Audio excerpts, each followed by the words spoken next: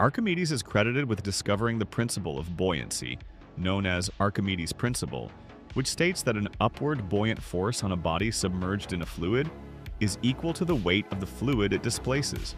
He also invented the Archimedes screw for lifting water, the principle of the lever, and is famous for his work in mathematics, including approximations of pi and formulas for the volume and surface area of shapes.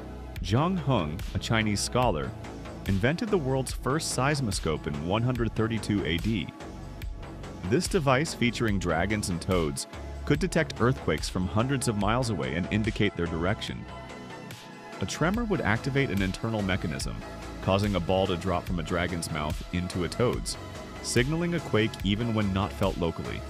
This invention was a remarkable step in early seismology,